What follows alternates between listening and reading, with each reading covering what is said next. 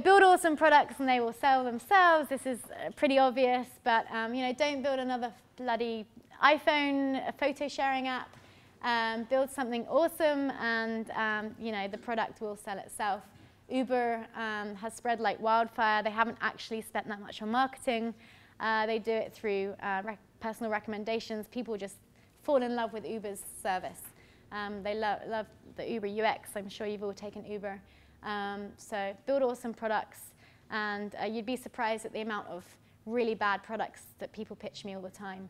Um, people are pitching me social media dashboard after social media dashboard after photo sharing app after photo sharing app, and um, it gets kind of boring actually. Um, so if you're going to change the world, change the world, you know? Uh, right. Do have a beer with the press.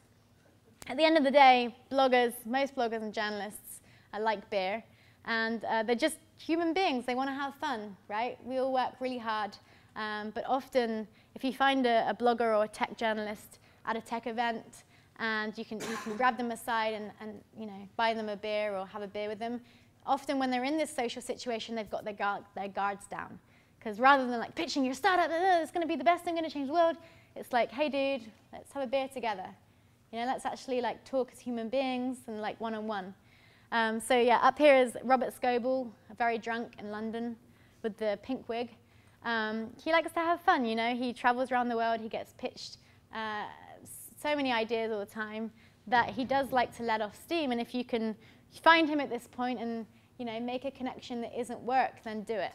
Um, this is uh, me hanging out with Richard Branson, name drop. Um, uh, this is a, a, a trip, a, a, Silicon Valley trip to his island in the Caribbean. But, um, you know, we were just having fun. And I think sometimes in Silicon Valley, um, how am I going to phrase this?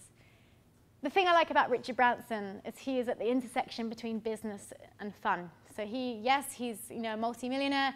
Yes, he's done extremely well in business. Yes, he gets pictured in hot tubs with random people and skydives naked into his like launch events. So I think sometimes in Silicon Valley, people are very serious about business, and that's great, but I think you don't necessarily need to be. You can actually have fun and be a human being. Um, do often offer an exclusive.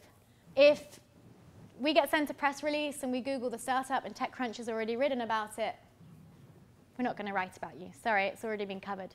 Same, you know, if uh, you've, you've promised NextWeb a exclusive, then we, we find out that TechCrunch already has the story. Sorry, we're not going to write about you.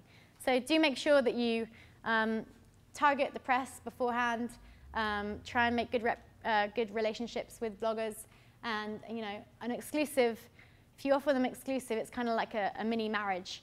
You know, you're, you're binded to them, and you know that they're going to write a really in-depth, good review of your product because you're giving them the exclusive. They get to write about it first.